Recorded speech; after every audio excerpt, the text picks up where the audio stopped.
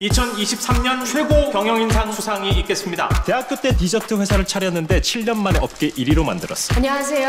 도도입니다. 나는 일이랑 결혼했어요. 남자한텐 관심이 1도 없... 없어요. 대표님하고 정구원 씨 수상하지 않냐? 내가 보기에 둘이 사귀는 게 분명해. 손 좀 주지? 하지 뭐. 가뜩이나 사람들이 우리 차에 의심하는데 나도 사회생활이라는 게 있는데. 곤란하다고. 너도 곤란하잖아. 글쎄. 난 상관없어.